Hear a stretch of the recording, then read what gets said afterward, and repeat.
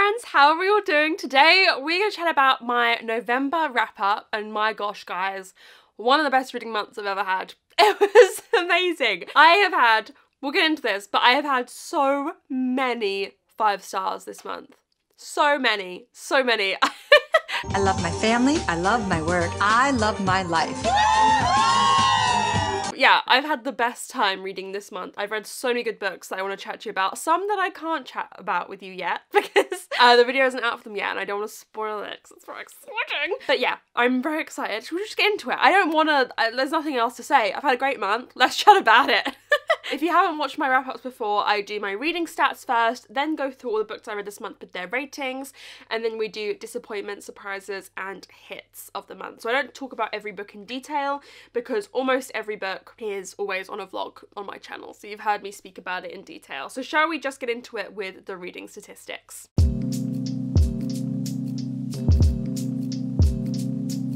So this month I read 15 books, which was pretty good. That's pretty high for me. I'd say 12 to 15 is kind of my usual range. What's interesting about this month is that there was the 10 days I was in Costa Rica in November. I read two books in those 10 days. So then you take out, then it's 20 days left where I read 13 books. so it was almost a book a day for the rest of November. So it was a very interesting reading month because my reading was not paced well. when I was in Costa Rica, I was like, oh my god, I'm going to read nothing this month. But I actually have read a lot because I've read a lot of books in one day, essentially. I read 4,498 pages this month, which averages out to 150 pages per day. That gives you an idea. If there were like eight days, seven days where I read nothing, some of these other days, I've been reading 400 pages in a day. But that's just what you gotta do at the end of the year because I've got a lot of reading that I want to get done. An average pages per book of 300. Nice round number. I love these round numbers, 150 and 300. And I had an average rating of 3.8 very happy with that rating. It's not the highest rating I've had this year, but as we'll get into it, it's definitely the highest rating I've had without any rereads because I had some high ratings at the start of the year, but they had quite a few rereads in them. So, yeah. and the average time a book had spent on my TBR was nine months. I had quite a few books that had not been on my TBR for any time at all, and then I had quite a few books that had been on my TBR for like three years. so, in terms of genres, I read four fantasy, one historical, two horror, one that I marked as literary fiction, it's like a literary mystery, one magical realism, two mystery, one sci fi, and three thriller. Look at the amount of pie slices on that pie chart. I mean, look. Did it. Look. This is lovely, isn't it? I listen. It just makes me so happy. The more slices I have on a pie chart, the happier I am because I love reading a wide array of genres. In terms of how I read the books, one was just an audiobook, six were just physical, and eight I had the audiobook and the physical. In terms of audience, 13 were adult, one was middle grade and one was YA. What did I read that was middle grade? Oh yeah, I put the Tea Dragon Tapestry as middle grade because I think it technically is middle grade. I don't know. But yeah, Lord. I do want to read more YA. I just feel like the YA readers nowadays I don't love. So... In terms of format, I read one graphic novel, 10 novels, three novellas, and one anthology. In terms of series stats, I read one companion, three that were part of a series, six that were standalones, one that was last in a series. What was that? Oh yeah, Dragon Tapestry four that were first in a series, but how many of those series am I continuing? I'm not continuing any of those series. so I read four that were first in a series, but I'm not I'm not continuing any of them. So that's fine. It doesn't add to my series stats. In terms of where the books were from, four were gifted to me, eight were books I bought myself, two were from the publisher, and one was from Scribd. And in terms of author status, two were debuts, 10 were from authors I'd read from before, and three were new to me. I think that's all of our stats, isn't it? Anything else? No. Oh, ratings! Oh, shit. It's almost hurtful to me to watch her be so dumb. Oh. Sorry, I haven't told you the ratings. Okay, my ratings this month were two two stars, one 2.5 star, two three stars, two 3.5 stars, two four stars, and six five stars. Six five stars, guys six five stars. I've looked back. That is the joint top amount of five stars I've had in a single month this month. But the only other month I had that many five stars was in January. And how many of those were rereads? Let's have a look, shall we? So half three of those were rereads in January. So I really only had three new five stars. Whereas I had six five stars this month, guys. I just I actually let's also look at if you guys remember I had a five star drought this month. Let's go from like April. So in order to get the same amount of five stars, I had read April, May, June, July. In April, May, June, and July, I had six five stars in four months, and I had six in one month this month. It's crazy. I'm so happy. I'm so happy. It was a great reading month. I can tell you about four of those five stars, but two of them I cannot tell you about. Anyway, should we get into all the books I read this month and their ratings?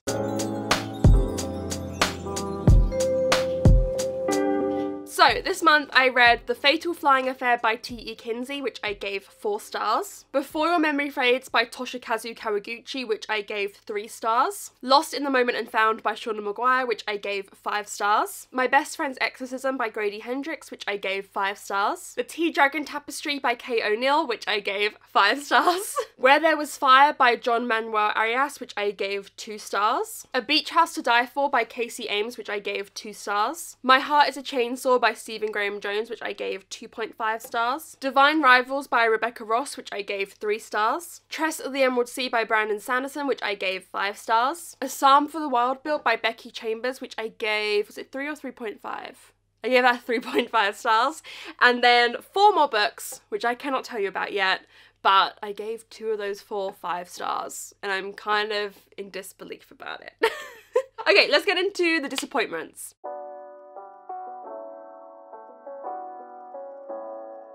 Okie dokie. For such a great reading month, I actually have quite a lot of disappointments, so I'll try not to spend too long on them because I want to keep the positive vibes. But I have four that I would class as disappointments on varying levels of disappointments. The first two that I'm going to chat about are books that I had really no expectations for, but they were my worst books of the month. And that is Where There Was Fire by John Manuel Arias and uh, A Beach House to Die For by Casey Ames. These were the two books that we read on my trip to Costa Rica as our little book club, and we all hated both of them. I wanted to find books that were set in Costa Rica, particularly by Costa Rican authors as well. I know John Manuel Arias is from Costa Rica. And so we picked both these books because they were set there. And one was more of a serious literary book. I almost should have marked this as literary fiction in some ways, actually, as well, because I think it's trying to be. and one like fun, cozy mystery. Let's talk about these quickly, right? This one is a historical family saga about this family and the stuff that's gone through, got happened to them uh, over the years, but it's also about American intervention and abuse of power and abuse of individuals in other countries, etc., etc. This book was just trying to do too much, and it was just it was it didn't do it for me. we all did not like it. Now everybody's ganging up against me. For what? What the fuck did I do? Either of those routes would I think have been interesting to go down in those topics it was trying to handle. And yes, they were intertwined by the end, but it, it meant that neither of them were handled well. I was more interested in the. Uh, did you, did you know in the synopsis what it's about? No, I'm not going to tell you what the kind of intervention and, and exploitation is about. But I was more interested in that side of it, but it barely really went into it. And the family side of it, none, of these characters felt fleshed out to me. And he also had a bit of an obsession with like people and things pissing themselves. like people kept pissing themselves, animals kept pissing themselves, a river was describing described as pissing itself, like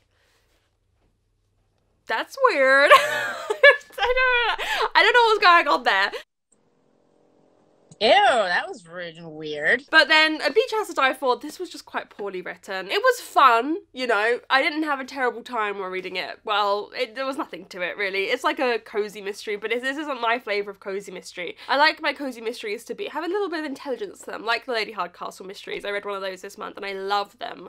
This was just no thoughts empty it was bad. It was really, really bad. It was bad. But I, I you know, I wasn't expecting a ton going into it, but like it still managed to disappoint me. But yeah, it was fun discussing both of these with everyone. We discussed it on one of our longer bus trips and we all just like ripped into them. I'm I feel bad that I made the group read it. they weren't good. Then I feel like this is going to be a controversial one, but My Heart is a Chainsaw by Stephen Graham Jones, I was really disappointed by. I read this for my book club. It was our October pick, so I always tend to read them in November. Plus, it was quite late this this month because I was in Costa Rica for the first two weekends of November. Um, I didn't love this. I gave it a 2.5. I was really disappointed, guys. I was really disappointed by this book. I've heard so many good things. You're following Jade, who's really into horror films, and she's convinced that like a horror slasher is happening in her town and she needs to like solve it basically. What were my critiques of this? I can't even remember. I just remember not a lot, a lot of us enjoyed it. I enjoyed the first third, but then the other two thirds just went on too long and kind of bored me. I don't know. I genuinely can't even really remember this book. I think I was still quite jet lagged when I was reading it as well. Which, you know, I do want to put that in as a caveat that I think this wasn't the book that I needed when I was reading it. I needed something fun, something quick, fast paced, and that's not really what this is. But I really enjoyed The Only Good Indians by Stephen Graham Jones. I enjoyed Night of the Mannequins by Stephen Graham Jones, but this one really just did not work for me and didn't work for a lot of us. I really enjoyed the first third, but then it kind of meandered, and I just think it needed to be shorter. It's like, how many pages? 440? I think it more needed to be like 300, 320. I just think it wasn't uh, edited well enough for me. And then a quick mention to a three star, but it's a three star that hurt me to my core a little bit, and that is Divine Rivals by Rebecca Ross. I know a lot of you have enjoyed this. I mean, it was the most popular book when I asked you guys what your best book of the year was. Most of you said this one. Bombastic side eye. Criminal offensive side eye. I really did not love this. Again, this was another tale of two halves for me. I gave I would give the first half of this four stars. I would give the second half of this two stars. We're following two journalists and it's like enemies to lovers and they're in this war with gods and that's basically what know. And I really enjoyed the journalism setting, but then they go to kind of the war front and that setting just didn't work for me and the romance was too insta-lovey. I never felt any connection I don't want to shit on it too much because I know so many of you loved it, but like that romance, one of the worst perpetrators of insta love I've ever read. Like it, it don't want to talk about it.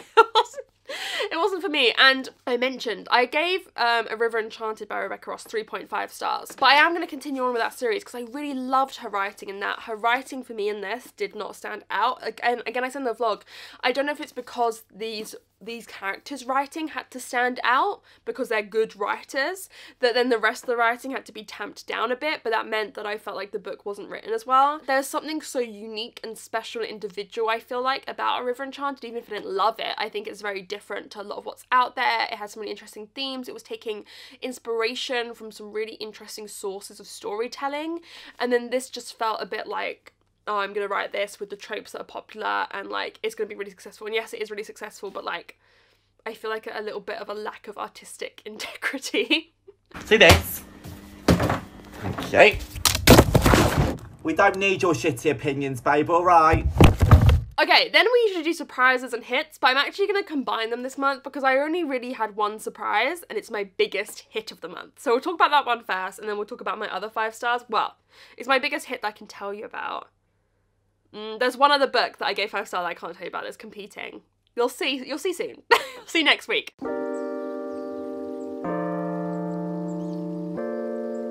Okay, my biggest surprise and biggest hit of the month is Tress of the Emerald Sea by Brandon Sanderson, the least biggest hit that I can tell you about.